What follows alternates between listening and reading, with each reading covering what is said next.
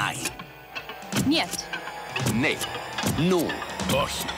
Around the world, this symbol means no.